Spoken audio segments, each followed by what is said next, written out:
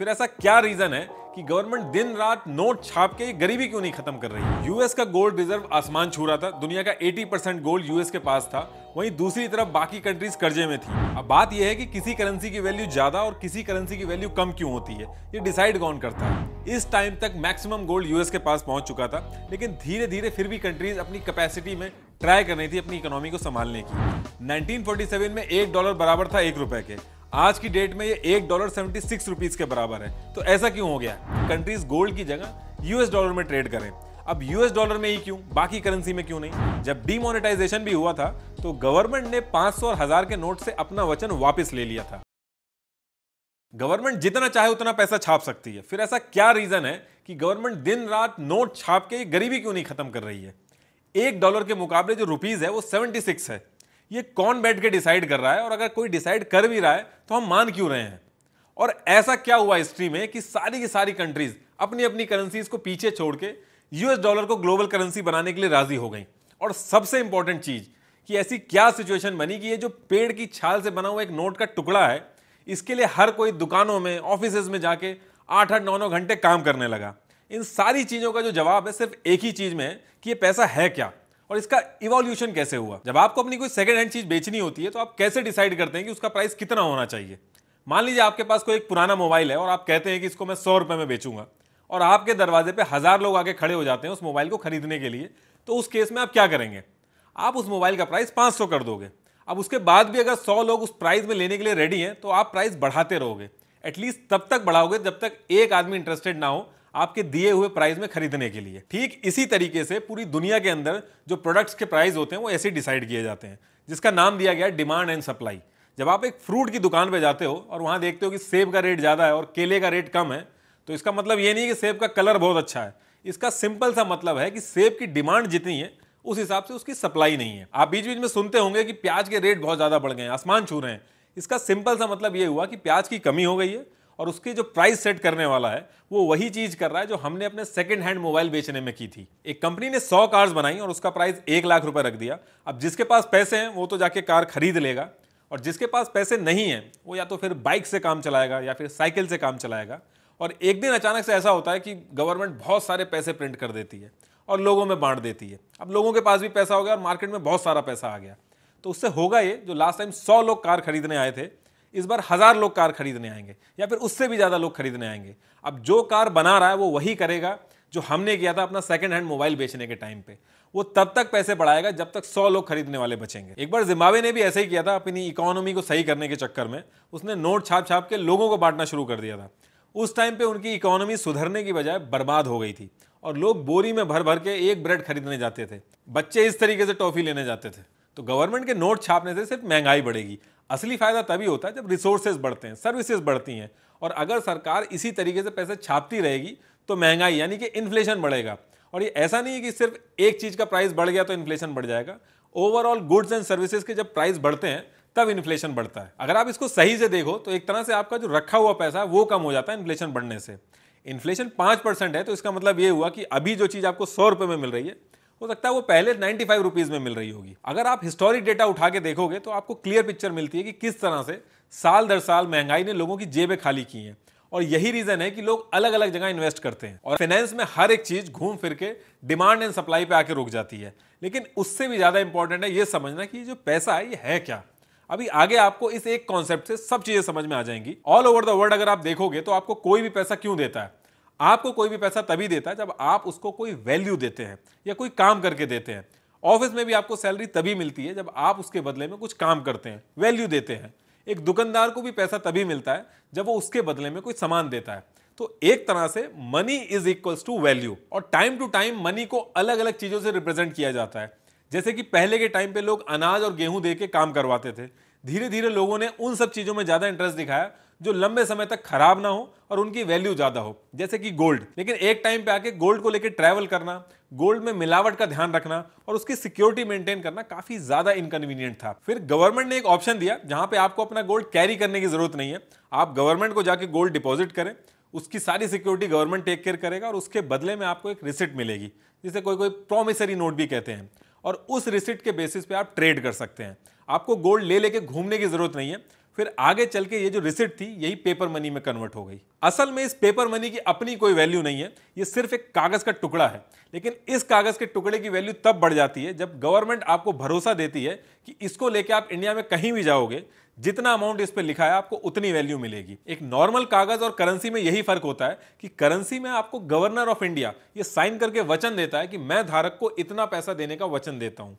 और इस वचन की इतनी वैल्यू होती है कि इस पर हर कोई ट्रस्ट करता है।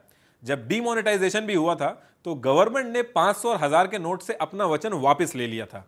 और जैसे ही अपना वचन वापस लिया था, ये 500 और हज़ार के नोट कागज़ बन गए थे। अब कंट्री के अंदर तो लोगों ने गवर्नमेंट के वादे पे पेपर करेंसी में ट्रेड करना शुरू कर दिया, लेकिन जब कंट्री के बाहर ट्रेड करना हो तो उस केस में क्या होगा? यूएस और इंडिया जब आपस में ट्रेड करेंगे तो किस चीज़ पे ट्रेड होगा? आप यूएस से कुछ खरीदने जा रहे हैं, और उनसे आप सामान लेने के बाद ये कहो कि ये रेड कलर का नोट है, इसको हम रुपीज़ बोलते हैं। इसमें हम आपको वचन देते हैं तो वो क्यों मानेगा? और ऐसे ही हम भी उनके डॉलर को क्यों लेंगे? और मान लो अगर किसी सिचुएशन में हम उनसे करेंसी ले भी लें तो उस करेंसी का हम करेंगे क्या? क्योंकि पैसा तब पैसा बनता है जब उसकी एक्सेप्टेंस हो। उस टाइम पे हर कंट्री के सामने यही प्रॉब्लम थी कि एक भी करेंसी ऐसी नहीं थी जिस पे हर कंट्री को विश्वास हो। अब मान लो आपने यूएस से ट्रेड करके यूएस डॉलर ले आए। अब आपको ज़रूरत है रशिया से ट्रेड करने की तो रशिया कह रहा है कि हम यूएस डॉलर लेंगे नहीं। अब इस केस में तो फिर यह हुआ कि यूएस डॉलर सिर्फ़ यूएस से ही ट्रेड करने में काम आएगा। क्योंकि कोई भी एक करेंसी ऐसी नहीं थी जिसमें सबको विश्वास हो। अब आपके एरिया में जो मेडिकल स्टोर वाला है, वो दूसरी करेंसी मांगने लगे। जो ग्रोसरी वाला है, वो दूसरी करेंसी मांगने लगे। तो इस तरीके से तो आपको हर करेंसी में कमाना पड़ेगा। लेकिन उस टाइम पे एक चीज़ अच्छी थी कि हर कंट्री को गोल्ड और सिल्वर पे ट्रस्ट था। लेकिन इतना इतना गोल्ड और सिल्वर को ट्रेड के लिए इधर से उधर ले जाना आसान नहीं था। तो इस चीज़ का सोल्यूशन निकालने के लिए लाया गया द गोल्ड स्टैंडर्ड इसमें कंट्री की करेंसी को गोल्ड से अटैच कर दिया गया। तो अटैच करने का क्या मतलब हुआ? एक हाइपोथेटिकल सिचुएशन है। मान लो कि इंडिया ने अनाउंस किया कि एक ग्राम गोल्ड की वैल्यू बीस रुपए है। मतलब कि अगर कोई बीस रुपए लेके आएगा तो उसके बदले में उसको एक ग्राम गोल्ड मिल जाएगा। और अगर कोई एक ग्राम गोल्ड लेके आएगा तो उसके बदले में उसको बीस रुपए मिल जाएँगे।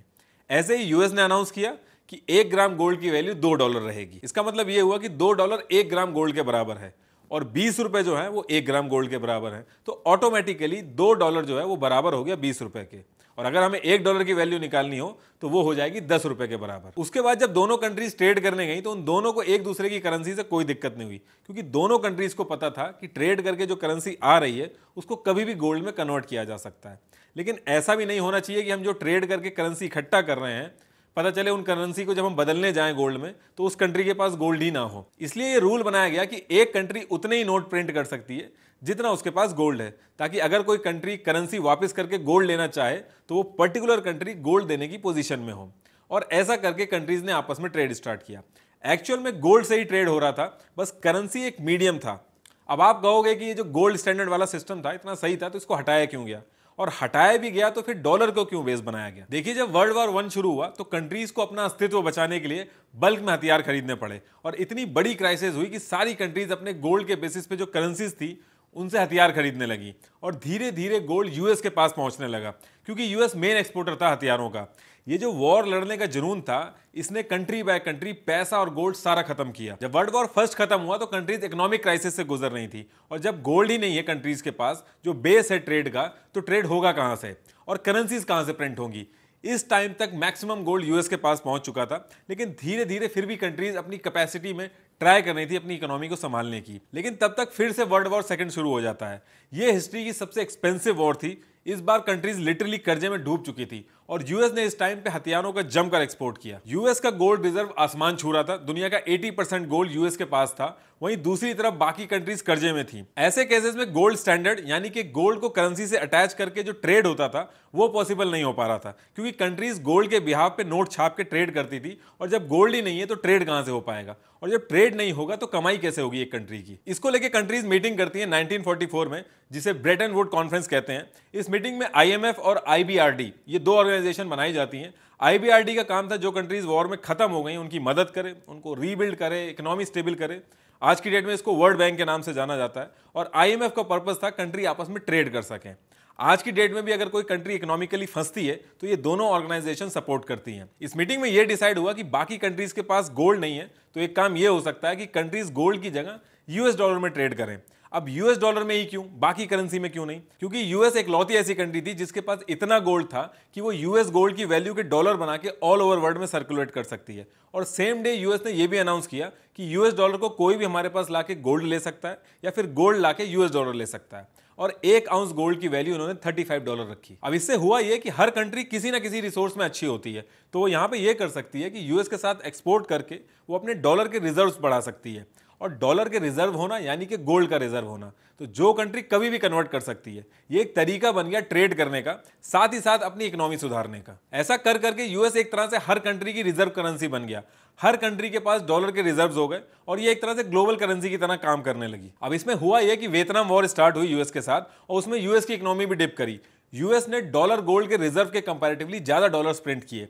और उधर बाकी कंट्रीज़ की भी इकोनॉमी सुधर रही थी। 1965 में चार्ल्स डी गैल्यू, जो कि फ्रांस के प्रेसिडेंट थे, अपनी नेवी भेजी और यूएस को डॉलर देके शिप के रास्ते से गोल्ड वापस ले आए। और धीरे धीरे बाकी कंट्रीज़ ने भी यही चीज़ फॉलो करी। और अमेरिका ने गोल्ड की वैल्यू से ज़्यादा डॉलर प्रिंट कर रखे थे, जो कि ऑल ओवर वर्ल्ड में घूम रहे थे।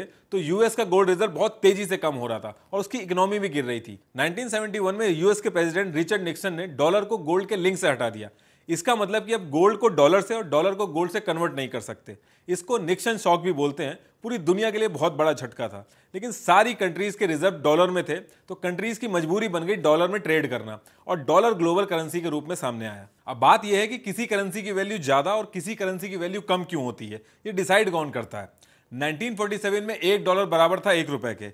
आज की डेट में ये एक डॉलर सेवेंटी सिक्स रुपीज़ के बराबर है। तो ऐसा क्यों हो गया? देखिए डिपेंड करता है डिमांड एंड सप्लाई पे। हर कंट्री की अपनी एक करेंसी होती है। अगर आपको किसी कंट्री का कोई सामान या सर्विस लेनी है तो आपको उस पर्टिकुलर कंट्री की करेंसी में ही खरीदना होगा। जब आप उस कंट्री में विज़िट करते हैं, तब आप पहले एक्सचेंज से अपनी करेंसी चेंज करवाते हैं, उसके बाद वहाँ का कुछ खरीद पाते हैं। इनफैक्ट जब आप ऑनलाइन यूएस या यूरोप के प्रोडक्ट खरीदते हैं तो पहले आपको यूएस डॉलर या यूरो खरीदने होते हैं, उसके बदले में अपने इंडियन रुपीज़ देने होते हैं, जिसे हम एक्सचेंज बोलते हैं, और फिर आप खरीद पाते हैं कोई सामान। ये चीज़ आपको इसलिए नहीं पता चलती क्योंकि बैकएंड में बैंक आपके लिए ये सब कुछ कर रहा होता है। तो जो कंट्री ज़्यादा वैल्यूएबल प्रोडक्ट प्रोड्यूस करती है, जिसकी रिसोर्सेज और सर्विसेज़ की ज़्यादा डिमांड होती है, बाकी कंट्रीज़ में, उस कंट्री की करेंसीज की वैल्यू ज़्यादा होती है। क्योंकि बाकी कंट्रीज़ ज़रूरत की वजह से अपनी करेंसी देके उस कंट्री की करेंसी खरीदती है। इसका मतलब ये हुआ कि उस पर्टिकुलर कंट्री की डिमांड बढ़ जाती है। और जब डिमांड बढ़ जाती है तो उस करेंसी के रेट ऊपर जाएँगे। अगर एक ब्रेड का पैकेट इंडिया के अंदर दस रुपए का है और एग्जैक्टली सेम ब्रांड का ब्रेड का पैकेट यूएस के अंदर 20 डॉलर का है और हमें अगर एक्सचेंज रेट कैलकुलेट करना हो तो उसका सिंपल तरीका यह है कि हम 10 बाय 20 कर देंगे। और इन एक्सचेंज के भी टाइप होते हैं। ये जो ब्रेड वाला एग्ज़ाम्पल मैंने बताया, इसे कहते हैं फ्लोटिंग एक्सचेंज जहाँ डिमांड एंड सप्लाई के बेसिस पर रेट चेंज होता है। दूसरा होता है फिक्स एक्सचेंज कुछ कंट्रीज़ आपस में एक्सचेंज रेट फिक्स कर लेती हैं, जैसे सऊदी और यूएस के बीच में फिक्स रहता है। एक डॉलर बराबर रहता है 3.75 सऊदी रियाल के बराबर। डिमांड एंड सप्लाई से इसका कोई लेना देना नहीं होता। तीसरा होता है मैनेज एक्सचेंज जिसमें एक रेंज होती है कि मान लीजिए अगर आपने तीन से पाँच की रेंज सेट कर दी है तो डिमांड एंड सप्लाई के बेसिस पे रेट तो चेंज होगा, लेकिन ना तो तीन से कम जाएगा और ना ही पाँच से ऊपर जाएगा।